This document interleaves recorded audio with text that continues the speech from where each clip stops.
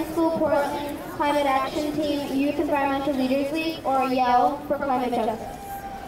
We are here because we believe change may be hard, but change has to happen. And we care about the future of our planet. Casco Bay is warming 99% than all other oceans, and we have done no- continued to do nothing about it for years.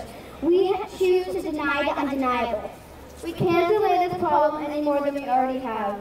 There have been three disastrous floods in Maine over the past 10 years, including one here in Portland. We have destroyed roads, homes, and even lives. And other, along with this rain have been has come sea levels rising tremendously.